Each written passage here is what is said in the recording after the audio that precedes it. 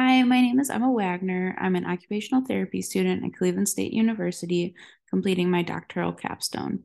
For this experience, I worked alongside my site mentor, Dr. Karen Kepner, completing a campus-wide needs assessment on Cleveland State's campus.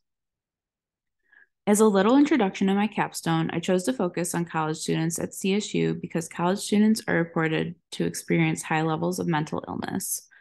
Since the 1990s, college students have been reported to have the lowest levels of mental health.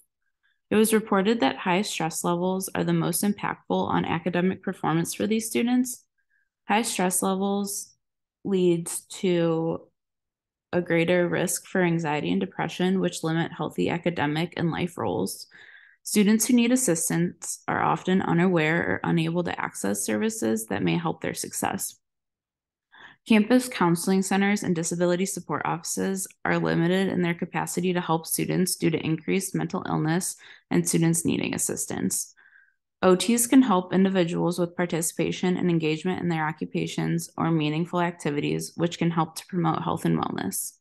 Since school is a major occupation for students, OTs can assist college students at risk of developing a condition or disability, the purpose of this capstone was to conduct a needs assessment to identify gaps in services offered on CSU's campus and to offer suggestions on how an OT can on campus can fill these gaps. My main goal from this experience was to identify the gaps in services on campus and determine how OT can fill this role. In trying to meet this goal, I accomplished the following. I received approval from CSU Institutional Review Board which allowed me to gather data and share my results. To identify these gaps on campus, I interviewed eight individuals from administration and student support services and surveyed 41 CSU students. From these interviews, I found there's an increase in mental health concerns on campus, leading to an increase in referrals to services. I also found students have many competing demands as most are commuters who deal with balancing family work and school responsibilities.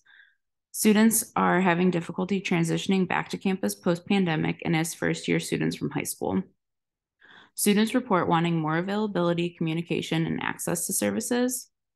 I also analyzed the data that I collected and brainstormed ways OT can fill gaps on campus, which I will explain more about on the next slide.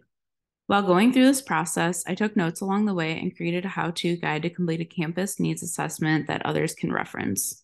I presented at the Ohio College Health Association annual conference to show my appreciation for the Lois Wells grant and share my findings. I also wrote a professional paper about my findings for publication. This needs assessment shows that there are many gaps on this campus, and hiring an OT is a beneficial way to assist in filling these gaps. OT can provide a level of mental health services on campus as the profession understands the application of mental health on routines, habits, and daily activities. OT can also assist in transitional periods through expanding the Intro to University Life course and working on transitional skills, routines, and habits to promote healthy student roles.